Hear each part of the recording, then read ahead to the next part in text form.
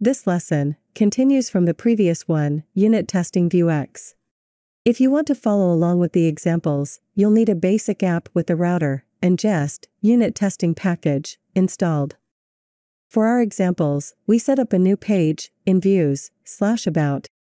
For the tests, we'll use the example test file in tests slash unit. Because routing typically involves multiple components, its testing usually takes place at the end-to-end level. But there is still some unit testing we can do here. And, like with Vuex testing, we'll create a local router for each test, so don't worry about configuring the router. When testing the router, we want to test if we can navigate to a route. First, we'll create a local router with the route we want to test. Then, we'll programmatically navigate to that route. And finally, we'll check if the navigation was successful by checking if the component or content inside it exists.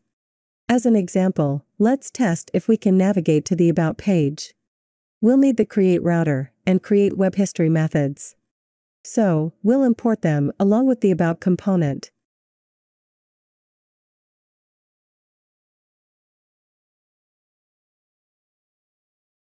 Then, we'll create the router with a route to the About page.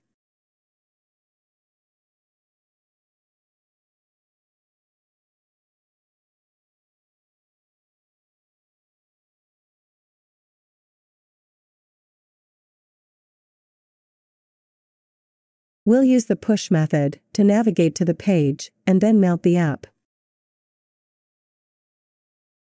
For the test, we'll use the mounted app to find the component, then check if it exists with the exists method.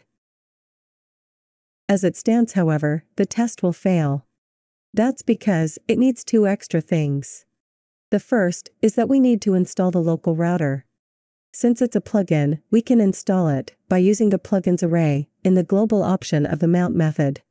The second problem is that the newer versions of the router handle routing asynchronously. We'll need to wait until the router has finished the navigation.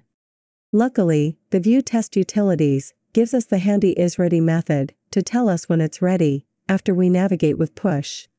We'll have to await it, so we also need to mark the test with async. Now, if we run the test, it will pass.